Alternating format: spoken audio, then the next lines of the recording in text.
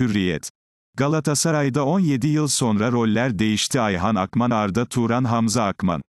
Galatasaray, Ukrayna'daki savaştan zarar gören çocuklara yardım için Dinamo Kiev ile karşılaşırken mücadeleyi kazanan taraf 3-1'lik skorla Ukrayna temsilcisi Kiev oldu. Barış için maç, sloganıyla gerçekleşen maçtan Galatasaray'da teknik direktör Domenek Torrent, Yankat Yılmaz, Emir Tintiş, Kaan Arslan, Zeki Mert Saki, Hamza Yiğit Akman, Özgür Baran Aksaka ve Beknaz Almazbekov gibi genç futbolculara süre verdi. 17 yıl sonra roller değişti. Mücadelede Galatasaray'ın eski kaptanlarından Ayhan Akman'ın oğlu Hamza Yiğit Akman ilk kez forma giydi. Bu durum ilginç bir tesadüfü de beraberinde getirdi.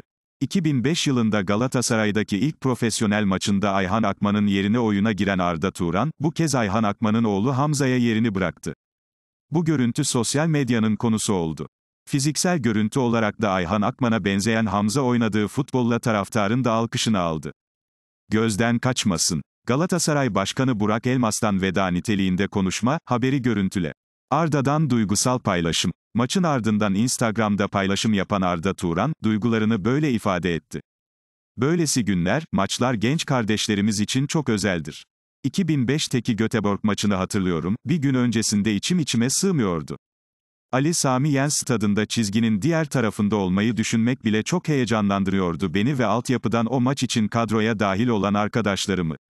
Belki çok kişi için sıradan bir gündü ama bilemiyorsunuz ki, bir daha o stada çıkabilecek misiniz, Galatasaray formasını ne kadar giyebileceksiniz, ulusal bir kanaldan yayınlanan bir maçta sevdikleriniz sizi o günden sonra da izleyebilecek mi?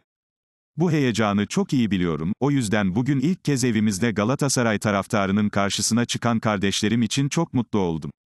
İnşallah hayal ettiklerinden de fazlasını yaşayacakları kariyerleri olur, hem Galatasaray'a hem de ülkemize yıllarca hizmet ederler. Hepsinin yolu, bahtı açık olsun. Tabii içlerinden birinin benim için ayrı bir yeri var. Ayhan Akman, Galatasaray'daki ilk kaptanlarımdandı. Kamplarda aynı odada kalırdık, kurduğumuz hayallerin çoğunu yaşamak nasip oldu, çok şükür. Bir gece uyumadan önce, bir gün oğlumuz olursa ikimiz de isimlerini Hamza koyalım, dedik birbirimize, ben Ayhan Akman'a hayran 16-17 yaşında bir çocuktum. Hamza bugün ilk kez Ali Sami Yen'e çıkarken, ilk adımında yanında olmanın gururunu yaşadım. Hayatının her anını bildiğiniz birinin gelişimini, attığı adımları görmenin verdiği hazzı tarif etmek kolay değil. Kardeşi Efe ile birlikte, babası gibi, bu bayrak yarışında Galatasaray'a çok şey vereceğini biliyorum ve o günler için sabırsızlanıyorum. Galatasaray gençlerini kazanma hedefinde. Bu sezon ligde, Avrupa'da ve kupada erken havlu atan Galatasaray'da hedef artık gençleri kazanmak. Ligde hiçbir iddiası kalmayan, derbide de yokları oynayan sarı kırmızılılar kalan haftalarda gençleri yani geleceğini kurtarmak istiyor. Gözden kaçmasın. Sezonu kaybeden Galatasaray gençlerini kazanacak, haberi görüntüle.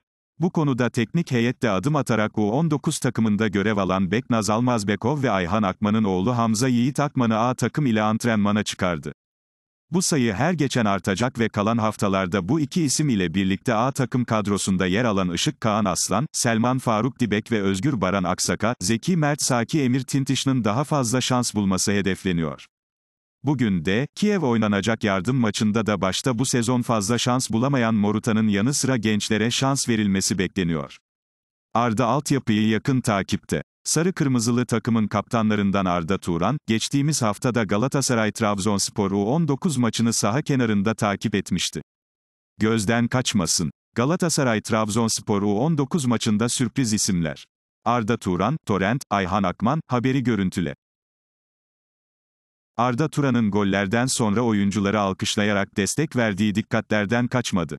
Galatasaray'ın eski yardımcı antrenörlerinden Ayhan Akman da sarı kırmızılıların formasını giyen oğlu Hamza Akman'ı tribünden takip etti.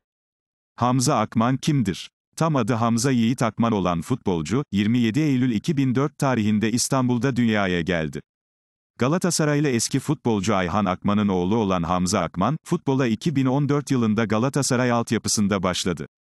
2020 bölü 2021 sezonu başında Galatasaray U19 takımına yükselen 17 yaşındaki futbolcu, 10 numara mevkisinde forma giyiyor.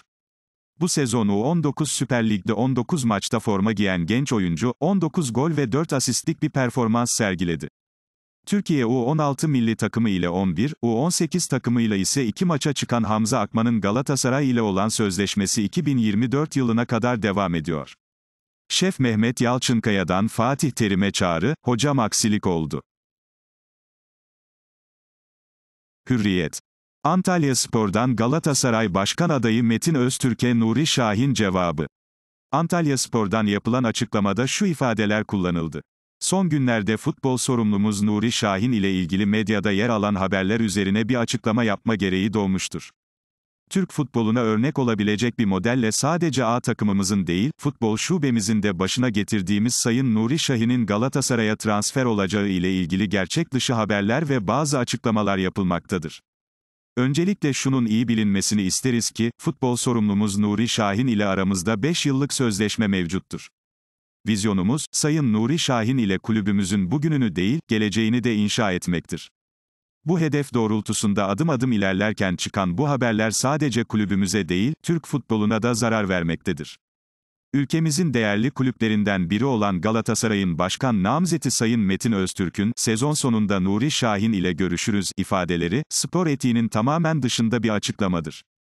Biz Antalya Spor olarak hiçbir değerimizin başka bir kulüp tarafından seçim malzemesi olarak kullanılmasına müsaade etmeyeceğiz. Kamuoyuna saygı ile duyururuz. Gözden kaçmasın. Mircea Lucescu'dan Galatasaray cevabı haberi görüntüle. Metin Öztürk ne demişti? Galatasaray Başkan adayı Metin Öztürk, dün akşam GSİ adın düzenlediği iftar etkinliği sonrasında teknik direktör seçimiyle ilgili şu ifadeleri kullanmıştı. Sezon sonunu görmek lazım. Elimizdeki hocanın performansı kötü ama devam eden kontredi var. Hepimiz için geçerli, başkanlar, yöneticiler ve sporcular için geçerli. Asıl olan Galatasaray'ın ileri gitmesi. Bizim dönemimizde hoca değişikliği olacaksa, görüşümüz Türk hocayla devam etmesi yönünde. Nuri Hoca çok başarılı bir kariyer içinde. Hiçbir hocayla görüşmemiz yok. Sezon sonu hocamızla yolları ayırırsak görüşeceğimiz birkaç hocadan bir tanesi Nuri Şahin olacaktır. Başkanı da açıkladı, Nuri Şahin'den memnunlar. Kimsenin mutluluğu üstünde gölge olmayız.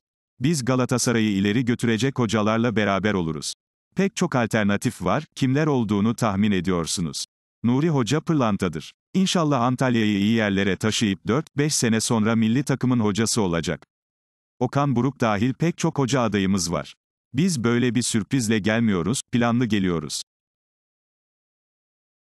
Anlık Galatasaray haberleri GS Haber ile telefonunuzda, Twitter ve Telegram'da. Günün haberleriyle podcast olarak Spotify ve Apple Podcast'lerde.